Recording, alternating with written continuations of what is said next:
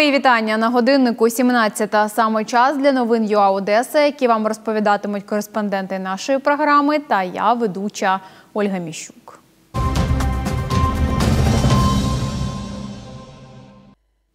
Батьки невакцинованих дітей від кору готуватимуть позов проти Одеської обласної державної адміністрації. Таке рішення вони прийняли після переговорів за одним столом із представниками ОДА та громадською організацією, що закликає до вакцинації. Перед засіданням батьки невакцинованих дітей провели мітинг під стінами обласної державної адміністрації та збирали підписи за відміну рішення Максима Степанова про заборону відвідувати садочки та школи дітям, у яких немає щеплень. О 12-й годині біля ОДА зібралися люди, які виступають проти примусової вакцинації дітей від кору. Гаслами на їхніх плакатах були слова «Ні дискримінації непривитих дітей». За словами організаторів, підтримати акцію прийшли більше ста людей. Поліція каже, що присутніх було близько 70. На мітингу збирали підписи за відміну рішення ОДА про заборону відвідувати навчальні заклади невакцинованим дітям. за то, чтобы детей не дискриминировали в школе, то есть чтобы эм, э, человек мог свободно выбрать медицинское вмешательство, то чтобы это было не медицинским насилием, а ну, медицинским услугой, да, или там по выбору. Для меня важно, э, если я чувствую, вижу, что мне нельзя прививать ребенка, чтобы я могла это совершить. У меня два ребенка. А, Одному 10 лет, другому полтора годика. Э, Ребенку 10 лет, она за три года ни разу не пропустила школу по причине болезни. Э, Вот, это о чем-то говорит. И я не хочу, чтобы ребенок у меня начал болеть, так как ее одноклассники в течение года, полкласса стабильно не является на, так сказать, в школу. Вот, поэтому моя позиция не делать прививки своим детям. Опонентами мітингувальників стали представники організації Батьки за вакцинацію. Вони теж прийшли до ОДА висловити свою позицію. В 21 столітті діти мають право не хворіти на вакцинокеровані інфекції, не помирати від них. Це абсолютно логічно, і я не дуже розумію, як мати трьох дітей, які можуть бути сумніви. Якщо ми хочемо наших дітей захистити, це наш обов'язок. Ми це маємо робити, навіть якщо у нас є якісь сумніви, страхи. Це нормально. Але наша задача розібратися в питанні і поставити наші питання спеціалістам, а не невідомим людям з інтернету. Банери общественної організації «Батьки за вакцинацію, які активно участвують в популяризації а, разъяснительной работе о пользе и важности вакцинации для населения и ценности этого профилактического мероприятия для нашего общества. Мы планируем сегодня пообщаться с людьми, у которых есть вопросы, которые возникли в результате подписанного совместного приказа Департаментом здравоохранения обладминистрации, Департаментом образования обладминистрации и лабораторным центром. Учасники обох акцій разом пішли до приймальні обласної держадміністрації, де сіли за стіл переговорів. Розмова сторін тривала годину. Ми пояснили позицію органів державної влади. Е, ну, скажімо так, е, в нас була певна дискусія, а однак в кінці ми зрозуміли, що є шлях, і він абсолютно законний. Всі вимоги, які є е, в людей, які протестували, вони мають викласти в відповідній істковій заяві і звернутися до суду. Насправді наказ ОДА, про який йде мова, в чому тут справа? Е, Очільник нашої обласної адміністрації міг би скасувати такий незаконний неправомірний наказ, оскільки цього, як ми бачимо, не відбувається. е, Єдиний е, спосіб захисту залишається це в судовому порядку. Звісно, ми будемо звертатися до суду. Коли подадуть позов, батьки невакцинованих дітей наразі не вирішили. Лілія Демидова, Сергій Коняхін, ЮА Одеса. На території колишнього дитячого здоровчого комплексу Антарктида, що на дачі Ковалевського, було спилено 122 дерева віком до 60 років. Дерева були спиляні на минулому тижні в четвер. Про це повідомив керівник громадської організації Зелений лист Владислав Балінський. Він проводив власну інспекцію території в суботу.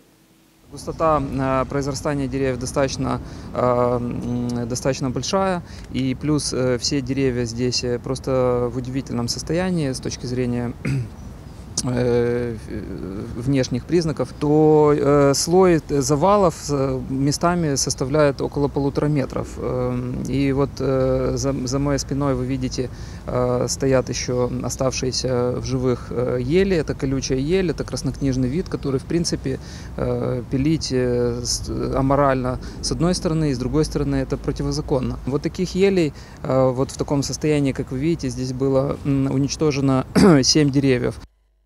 Сьогодні в ході апаратної наради мер Одеси Геннадій Труханов сказав, що вирубка дерев була проведена без дозволу Одеської міської ради. На территории бывшего детского оздоровительного комплекса «Антарктика» были спилены деревья. Как всегда, это было сделано без разрешения. Без разрешения. Поэтому э, я прошу департаменту экологии, всем департаментам и управлениям, которые э, должны реагировать в данном направлении, провести работы. Я думаю, после такого э, варварского поступка надо дать этому оценку. Наразі ми намагаємося з'ясувати, хто є замовником вирубки дерев, та отримати коментар.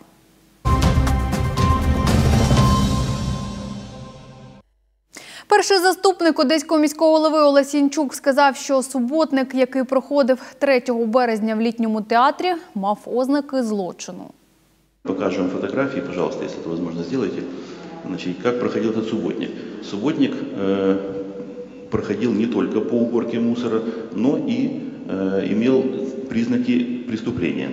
Э, ряд лиц, вот вы сейчас можете наблюдать, э, ряд лиц э, молодых ребят, которые были вооружены ломами, молотами, целенаправленно уничтожали остатки конструкции летнего театра, сцены и э, тех э, элементов, которые не только имеют право собственности, но являются э, важными, важными архитектурными частями того летнего театра, который мы собираемся восставить. Результатом этого так называемого субботника является то, что весь мусор, вся грязь и вот эти вот элементы ракушняка вынесены были общественностью на территорию городского сада, заскладированы, то есть, грубо говоря, выставлены на всеобщее обсуждение. Никто этот мусор не вынес, и сегодня нам придется потратить бюджетные деньги, силы коммунальщиков для того, чтобы этот мусор весь с территории уже не летнего театра, а с территории городского сада вывозить.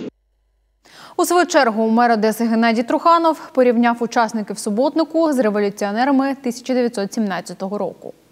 Знаем, в истории были моменты. 17-й год.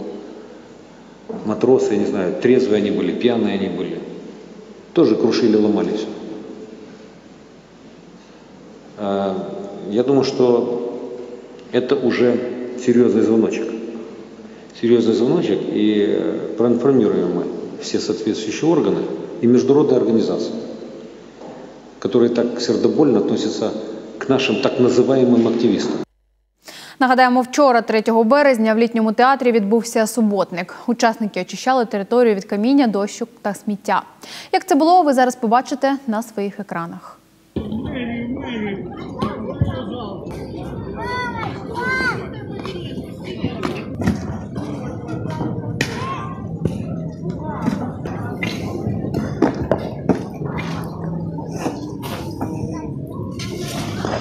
Народу очень много, потому что вот уже солнышко потеплело.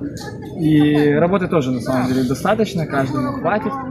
Разбираем то, что уже не имеет никакой ценности на самом деле, это просто хлам.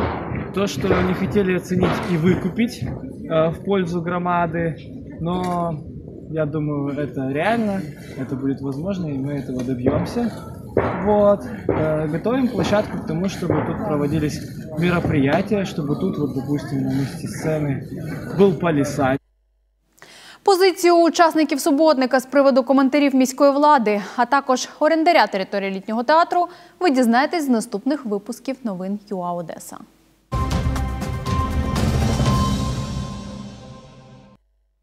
Цієї неділі в арт-студії юридичного ліцею на Катеринській 64 у рамках виставки Котома Орина відбувся майстер-клас Котячий будиночок. Захід проводила громадська організація Еволюція покоління. Змайстровані будиночки планують передати волонтерам для їх подальшого встановлення на вулицях міста та в одеських двориках. У майстер-класі взяло участь п'ятеро людей. Майстер показував їм, як робити будиночки з фанери. Мы посмотрели и выбрали фанеру. Э, Она э, практична и в работе, и с ней могут работать и дети.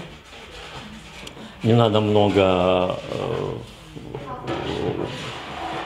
ну, не надо много обрабатывать ее, уже сделали заготовки определенные. Она теплая, и даже в мороз она не замерзает. И, то есть в этом домике будет тепло и уютно для тех китов. Це Давид. Хлопчик прийшов на майстер-клас зі своїм дідусем. Кошка домик, что у нее нету мамы, она живет бедно, и мы решили ей помочь сделать домик. Хочу, чтобы вс- здесь много людей приходило. Мастер-классов было много. Хочу сделать что-то до- хорошее, доброе такое. Одесса у нас входит в десятку городов Украины, а, даже не городов Украины, в десятку городов мира, которые очень любят кошек. Мы решили вот э, внедрить такую идею, э, делать э, деревянные домики.